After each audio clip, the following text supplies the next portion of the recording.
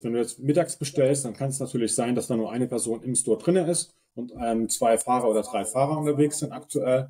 Ähm, aber natürlich, wenn du jetzt im Abendgeschäft bestehst, dann stehen wir größtenteils nicht nur zu zweit im Store, dann haben wir bis zu vier Leute, fünf Leute im Store, die nur drinnen arbeiten.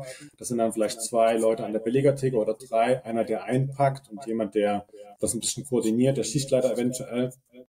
Ähm, und dann haben wir auch bis zu ja, 15 Fahrer, 6, 10, 15 Fahrer im Store, je nachdem, wie, wie groß das Umsatzvolumen des Stores ist. Ne? Also es müssen nicht nur zwei Leute daran beteiligt sein. Genau genommen vom Ablauf her sind es vielleicht nur zwei oder drei. Ja. Kommt auf an, wie das Store aufgebaut ist, genau.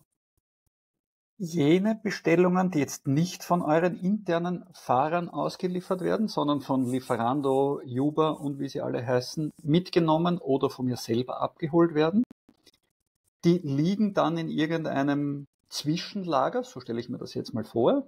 Da steht dann auf, der, auf dem Pizzakarton Klaus drauf